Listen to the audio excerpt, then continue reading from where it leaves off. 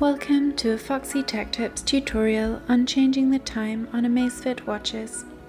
If you find this video helpful, please consider subscribing to my channel and liking the video. Tap the crown to open the app menu. Open Settings.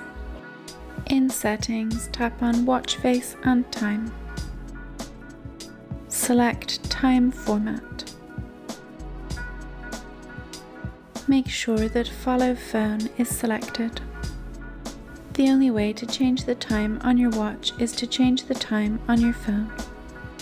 Each phone will be slightly different, but I will show you how to do it on a Samsung. On your phone, open the Settings app. Find and select General Management.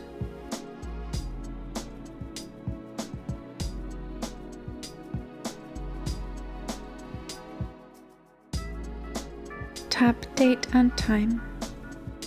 Turn the toggle off to the right of Automatic Date and Time.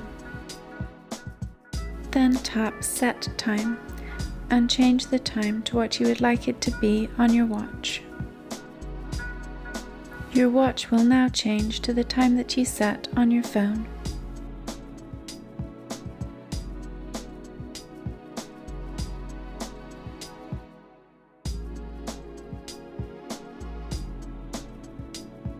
And that draws an end to this tutorial.